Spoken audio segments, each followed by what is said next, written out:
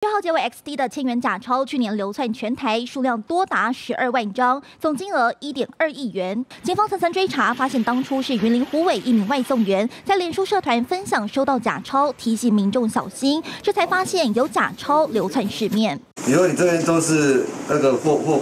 这些货是哪边来的？云林警方巡线查获一捆又一捆的千元假钞，一名计程车司机拍下使用假钞的乘客向警方报案。专案小组巡线逮到使用伪钞的张姓货车司机，向上溯源，发现他的伪钞是向昵称魔术的卖家以每张七元购入。警方继续追查，发现假钞源头来自于他。喏，一千哦，一千。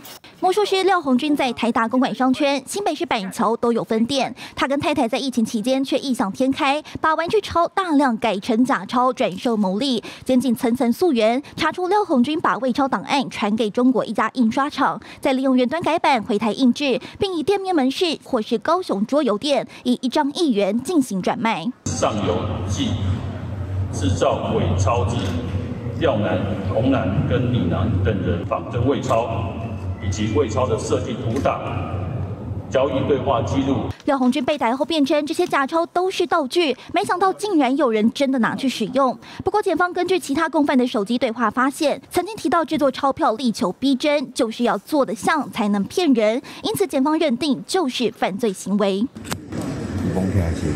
魔术师把玩具钞拿来改造成类真钞，严重影响经济秩序。判决六月底出炉，廖红军被判六年有期徒刑，太太则是五年八个月。尽管廖红军五月才在脸书对于重创魔术圈形象致歉，但真正该道歉的对象，其实应该是收到假钞的受害民众。新闻曹明和伟涛采访报道。